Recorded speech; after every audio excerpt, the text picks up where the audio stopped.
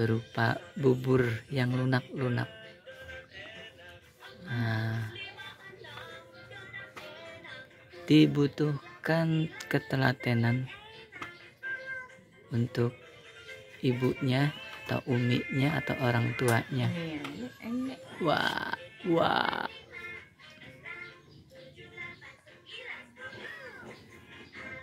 Masih bayi ini belajar untuk nelan.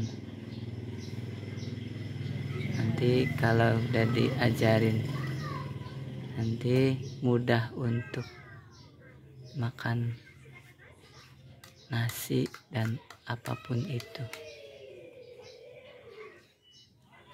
Mengajarkan